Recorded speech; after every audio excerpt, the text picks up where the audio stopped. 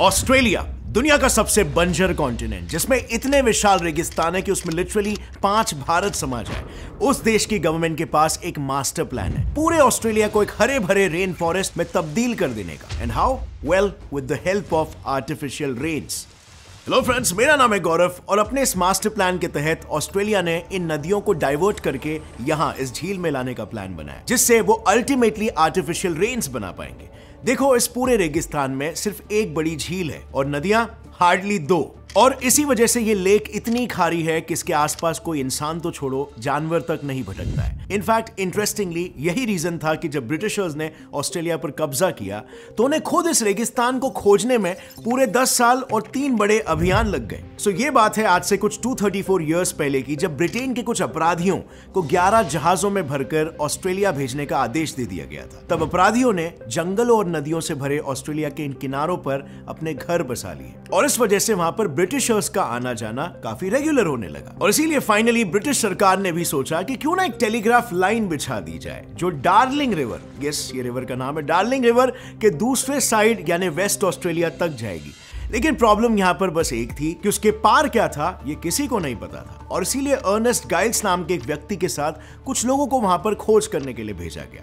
गोल एकदम सिंपल था, यहाँ से यहाँ तक पहुँचना। तो सफ़र यहाँ से शुरू हुआ और इस झील तक पहुँचते ही खत्म हो गया। And why you may ask because ये झील सूख कर सॉल्ट पैन बन गई थी, जिसे घोड़े आगे भाग नहीं पा रहे थे। And attempt one just led to a failure दूसरा एक्सपीडिशन हुआ अगले ही साल। इस बार स्टार्टिंग पॉइंट था ये मुस्ग्रेव रेंजेस यहाँ से गाइल्स का एक्सपीडिशन माउंट ओल्गा नाम के एक पहाड़ तक तो आसानी से पहुँच गया।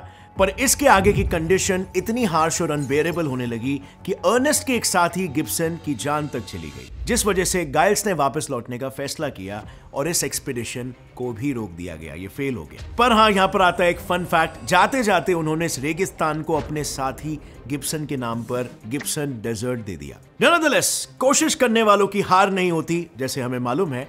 तीसरा और आखिरी एक्सपीडिशन शुरू हुआ कुछ ही साल बाद 1875 में। पर इस बार प्लानिंग थोड़ी सी अलग थी। वेल well, उन्होंने घोड़ों की जगह पर यहाँ पर कैमल्स यानी कि ऊँट का इस्तेमाल किया जो रेगिस्तान में उनका साथ बखूबी दे सकते थे। And guess what it worked out perfect तैयारी की वजह से एक ही साल में ये मिशन सक्सेसफुल हो गया। गाइल्स फाइनली वेस्ट ऑस्ट्रेलिया तक पहुँच चुके थे और उन्होंने डिस्कवर कर लिया था अब तक के हिडन ऑस्ट्रेलियन डेजर्ट्स लेकिन सरप्राइजिंगली इतने बड़े लैंडमार्क्स पर एक भी इंसान नहीं रहता था। क्योंकि रेगिस्तानी ज़मीन ना ही उपजाऊ थी और ना ही यहाँ पर पानी था।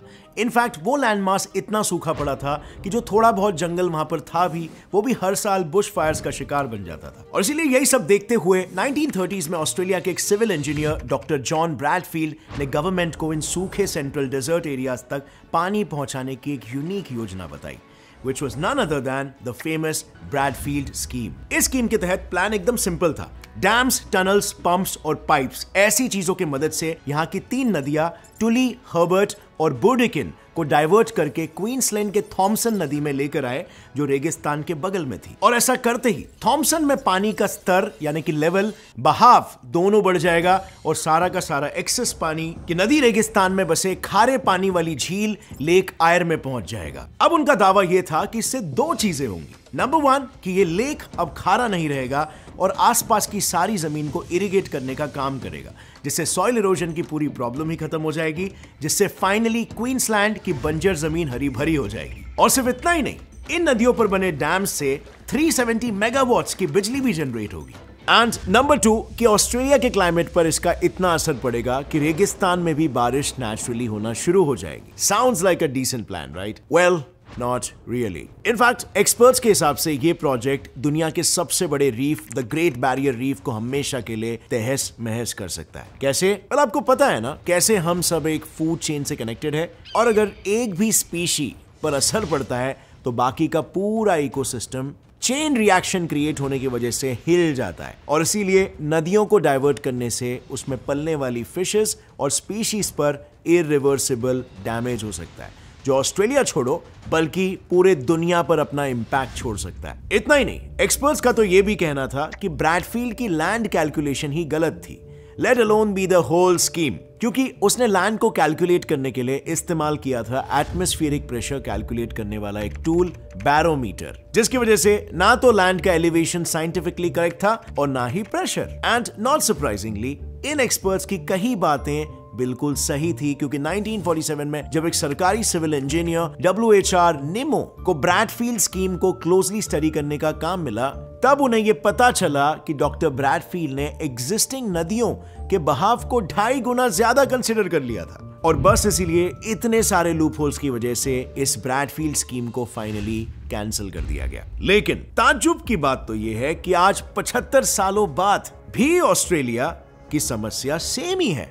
पानी, जिसके लिए अगेन ताजुब की बात है कि अब वो ब्रैडफील्ड स्कीम को ही एक बार फिर से लॉन्च करने जा रही है ऑस्ट्रेलिया के इंटीरियर्स को ग्रीन करने के लिए। बट ऑफ़ कोर्स कुछ नेसेसरी अपग्रेडेशंस के साथ। अब चेंजेस के साथ भी ये कितना सक्सेसफुल हो पाएगा, ये तो समय ही बताएगा। लेकिन तब तक के लिए ऐसा नहीं है कि ऑस्ट्रेलिया अपने डेजर्ट्स को ग्रीन बनाने के लिए कोई स्टेप्स नहीं ले रहा है। स्टेप्स तो क्या? ऑस्ट्रेलिया ने इसके लिए कई यूनिक जुगाड़ निकाले। देखो, सबसे पहले तो ऑस्ट्रेलिया में बीज भी अब ड्रोन की मदद से बोए जा रहे हैं। एक्चुअली बुश फायर्स यानी जंगल में आग लगना ऑस्ट्रेलिया में होने वाले सबसे बड़े नेचुरल डिजास्टर्स है, जिसमें ऑस्ट्रेलिया हर साल अपने ट्वेंटी ट्रीज को खो देता है। तो ऐसे बुश फायर्स और अदरवाइज़ डिग्रेडेड एरियाज़ में कई प्राइवेट प्राइवेट कंपनीज़ जैसे एयर सीड इनफैक्ट एक सरकारी ऑस्ट्रेलियन वेबसाइट के अकॉर्डिंग वहाँ डेली ऑलमोस्ट दो लाख ट्रीज प्लांट हो रहे हैं, जिसके लिए सरकार पिछले सात साल में 1.5 बिलियन डॉलर्स तक खर्च कर चुकी है। इतना ही नहीं ऑस्ट्रेलियन सरकार रेगिस्तानों से बिजली और एयर फ्रॉम वाटर टेक्नोलॉजी की मदद से ग्रीन हाइड्रोजन को भी मैन्युफैक्चर कर रही है। एंड माइंड यू ये बिजली इतनी ज़्यादा है कि अफ़गानिस्तान, नेपाल, भूटान तीनों को साल भर नॉन स्टॉप सप्लाई मिल सकता है। वेल प्लान सिंपल है। हाइड्रोजन को पानी से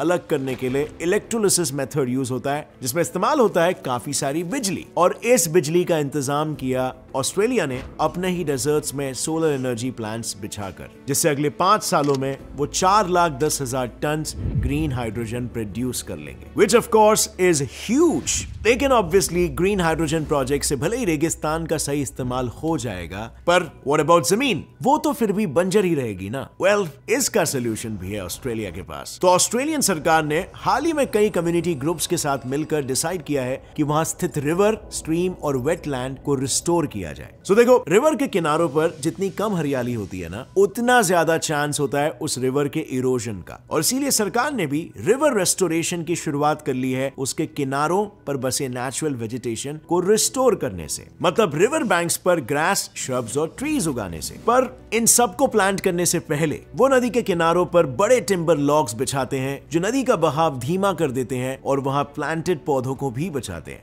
thereby reducing soil erosion and finally इस सब की मदद से यहाँ पर फ्लोरा एंड फोना एक बार फिर से फ्लरिश करने लगेंगे। इनफैक्ट ये रेगिस्तानी पौधे तो आने वाले समय में कार्बन सिंक बनने की काबिलियत भी रखते हैं। गुड न्यूज़ राइट एंड काफ़ी इंटरेस्टिंगली साइंटिस्टों को पता चला है कि रेगिस्तानी पौधे ज़रूरत से ज़्यादा कार्बन डाइऑक्साइड ले रहे हैं जिसकी वजह से उनके पत्ते और भी बड़े उगने लगे हैं जो धीरे धीरे वहाँ का ग्रीन कवर बढ़ाने में मदद कर सकते हैं। सो so यस yes, यहाँ तक तो सब सेफ़ एंड साउंड है पर अभी भी एक चैलेंज है जो अल्टीमेटली ब्रैडफील्ड प्रोजेक्ट के सक्सेस या फेलियर को तय करेगा and that is the presence और absence of portable drinking water well honestly it's hard to say क्योंकि आश्चर्यजनक बात है कि आज भी ऑस्ट्रेलिया अपने 100 साल पुराने वाटर सिस्टम्स को यूज़ करते जा रहा है, जिस पर वो काफ़ी डिपेंडेंट हो चुका है। जैसे ये 1896 में बना water system gold field water supply scheme और ये पाइपलाइन आज भी ऑपरेशनल है और तो और एक लाख लोगों के अलावा माइंस और फार्म्स को भी पानी सप्लाई कर रही है। और दूसरा प्रोजेक्ट स्नोई माउंटेन स्कीम तो वर्ल्ड का सिविल इंजीनियरिंग वंडर भी कहा जाता है, जिसे साल 1949 में एक स्नोई रिवर पर बनाया गया था। ये प्रोजेक्ट नौ power station 16 major dams eighty kilometre के एक्वेडक्स और 145 किलोमीटर के इंटरकनेक्टेड टनल्स के वजह से एक इंजीनियरिंग वंडर है। और इस सब की वजह से ऑस्ट्रेलिया ने इनोवेशन पर कोई खास ध्यान दिया ही नहीं, जिस वजह से आज भी वहाँ पर पोर्टेबल ड्रिंकिंग वाटर की प्रॉब्लम मौजूद है। तो अब सवाल यह आता है कि क्या ब्रैडफील्ड प्रोजेक्ट इन सारे प्रॉब्लम्स का टूवर्ड सोल्यूशन है? क्योंकि ये वाकई में ऑस्ट्रेलिया के लिए एक बहुत ही बड़ी समस्या है। क्योंकि मेजॉरिटी ऑफ़ ऑस्ट्रेलिया में डेजर्ट्स की वजह से कोई पॉपुलेशन ही नहीं है। इतना बड़ा देश है, लेकिन पॉपुलेशन ना के बराबर है। पर अगर हम ऑस्ट्रेलिया को पूरे दुनिया से कंपेयर करें तो ऐसा भी नहीं कह सकते कि ये प्रॉब्लम ऑस्ट्रेलिया के लिए एक्सक्लूसिव है। इतनी भी अनकॉमन सिचुएशन नहीं है। चाइना की बात कर लो। चाइना का भी हाल कुछ ऐसे ही है। चाइना की मेजोरिटी पॉपुलेशन इस लाइन के ईस्ट पे ही रहती है। अब ऐसा क्यों है? इस पर हमने डिटेल में एक वीडियो बनाया है। बहुत ही इंटरेस्टिंग वीडियो है जो आपको चाइना की हिस्ट्री को समझने में मदद करेगा। अगर आपको वो देखना है तो ये वीडियो खत्म हो चुका है। यहाँ पर क्लिक करके आप उस वीडियो को देख सकते हो। इसके अलावा फ्रेंड्स ऑस्ट्रेलियन गवर्नमेंट के इनिशियली फेल्ड ब्रैडफील्ड प्रोजेक्ट को वापस लाने के बारे में आपका क्या सोचना है? क्या आपको लगता है ये आज के टाइम पे वर्केबल होगा? नीचे कमेंट्स में बताना अपनी राय। और अगर इस वीडियो से आपको कुछ भी नया सीखने मिला, एक लाइक ज़रूर ठोकना। Get set fly fact channel को भी सब्सक्राइब कर लो और बेल नोटिफिकेशन दबाओ, ताकि आगे आने वाली हमारी कोई भी वीडियो की अपडेट आप मिस ना कर सको। As always stay curious keep learning and keep growing जय हिंद!